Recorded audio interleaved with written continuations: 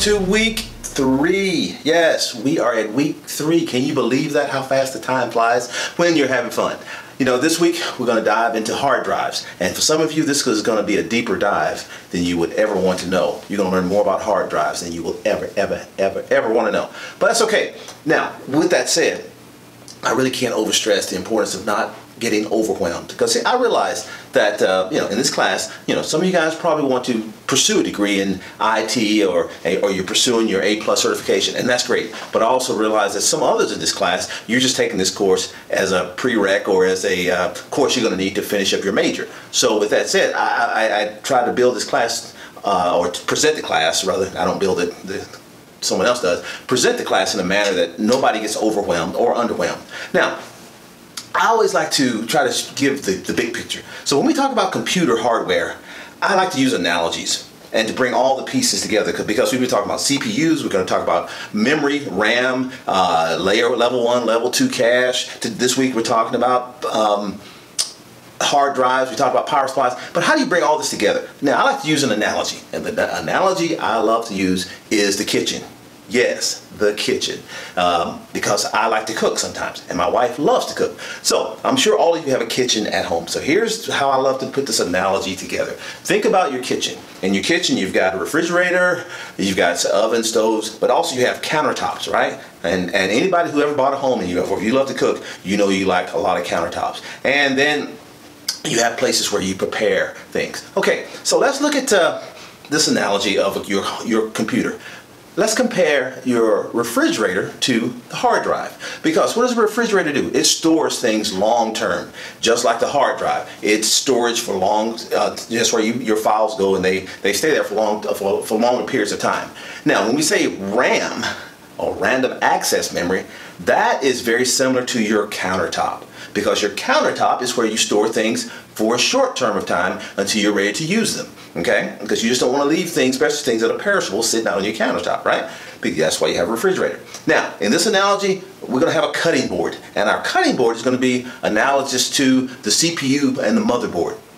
And on that motherboard you have this actual CPU. And what's the CPU in this analogy? It's me with a knife in my hand at the cutting board. Okay, so let's say I want to make what? A fresh garden salad, right? So I'm gonna go to my refrigerator, AKA the hard drive, and I'm gonna get lettuce and tomato and cucumbers and celery and everything that I wanna put. And I'm gonna bring it out and put it on the counter, right?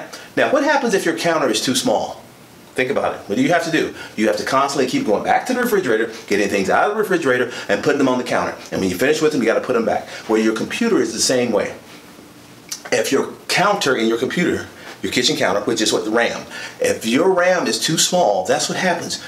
Your computer is constantly having to go through the hard drive to get code, to get files to bring to be processed. So that's why when you buy a computer, if you're not already familiar with this, it's just like buying a house in your kitchen. You want to get as much counter space as your wallet can stand because the more counter space you have, the more things you can bring out of the refrigerator. Likewise on your computer, the more uh, RAM, random access memory you have, the, the more things you can process. So then the less you have to go back to the hard drive and, and keep pulling things off. Okay, so now, so I've got these, I, I've got a lot of RAM. So I've got all this stuff sitting out on my kitchen counter. I've got tomatoes and lettuce and all this stuff. And I got a cutting board. So me, I am the CPU. So as I'm chopping things up on that cutting board, I'm putting them back into bowls and I'm putting them here and there. now, if you're like most people who cook, the things that you use a lot, you want closer to you. The things that you're going to use sparingly, they're going to be sitting farther away on the counter board, on the uh, countertop. That is what your level one and your level two cache. You may have heard these terms if you're not familiar with them. That's what they are. They are that's memory that's actually right there really close to your CPU. So that way when your computer gets code and things off um, that's going to be used a lot, for instance if you're doing uh, Microsoft Office and you got Word open, well the actual program for Word, a lot of those instructions are sitting right there in, in cache, which is very close to the CPU, which means that it is really fast. And your CPU can get that code, those lines of instructions really quick and process them. Just like if I'm cutting cucumbers, and I like cucumbers, so I'm gonna put a lot of cucumbers in my salad. Okay, so that means I got my cucumbers really close to me. So if I can grab a cucumber, cut it up really quick, grab another. Now I wouldn't want my cucumber sitting way at the end of the counter because it takes me a long time. I gotta walk up here, grab a cucumber, bring it back and chop it. Walk, get another one, bring it back and chop it. So that is what cache is. there's two types of cache. Level one and level two. Uh, your level uh, one cache is actually on the uh, motherboard, whereas level two cache is actually a part of the CPU. It's actually ingrained, embedded in the CPU. So I'm the CPU, I'm the, the CPU, and I'm chopping. I'm, I'm doing the processing of these things. So that is how a computer. That's my simple, simple analogy of how a computer goes together, just like a kitchen with kitchen counters. You want a lot of it, just like RAM. And I'm serious. Whenever I try to buy a computer, I try to put as much RAM in there as I can because that's less work on the hard drive. Um, so, I hope that analogy made a little sense to you. I'm sure some of you guys are going, okay, I'm more confused now. I hope not. But yeah, I always like using those analogies for the high level. Now I say, when we get into the hard drive this week, boy, yeah, it's gonna go a lot deeper than you probably wanna go. But that's okay. Second thing I want to talk about really quick, again, you guys are just giving me some great comments back and I love it. Um, message in a minute. Uh, yeah, we got one coming this week on um, out of Proverbs, wisdom, knowledge, understanding, and discretion. I hope you like that one. Now, the thing with these messages in a minute. Now, I always like to make this clear because I know at, at, at IWU you get people from diverse backgrounds and diverse belief uh, belief systems, which is okay, and I, I love that. So when I do these messages, they're not to try to persuade you, to try to change your mind, to try to change your belief system. It's merely give you some information, some food for thought, hopefully that you can make uh, better decisions with. But when I think about belief systems, I always have to ask the question, how committed are you to whatever it is you believe? And what do I mean by that? Many times when I talk to people who have various belief systems, you know, they kind of flow back and forth. Well, I kind of believe this, I kind of believe that, and you know, kind of just all over the place.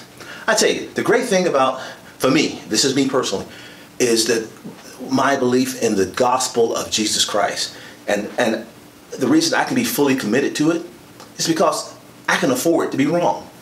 And you're like, what do you mean by that? Well, let's just say, let's for instance, that all this Jesus stuff and all of this stuff about, you know, uh, salvation, what if it's just all wrong? Okay? Well, you know what? On this planet, every day about 100,000 people die. And one day, I will be in that number of 100,000 people that will die. And but if I am wrong, okay, I just become a pile of dust. Not a big loss, is it? But just suppose that um, I'm not wrong. And there actually is a heaven and a hell. Wow. And when that day comes, when I'm a part of that 100,000, I would surely hate to gamble against that. That would be a hard uh, bet to want to lose. So that's why it's so easy for me to be fully committed to the gospel of Jesus Christ because it's just win-win all the way around. Can't lose. All the chips in the middle of the table, all in with Jesus Christ. Hey, listen, hope you guys have a great week. If you have questions, again, shoot me an email or text. Uh, either way, you can, can contact me. All right? Take care and enjoy your week, and we'll be getting ready for week four.